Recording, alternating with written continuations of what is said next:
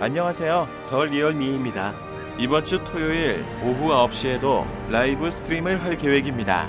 그런데 no stun 영지는 플레이하는 저도 별로 재미가 없고 보시는 분들에게도 임팩트가 영 없는 것 같아서 그냥 앞으로는 깔끔하게 혈월 dark run 영지를 굴릴 예정입니다.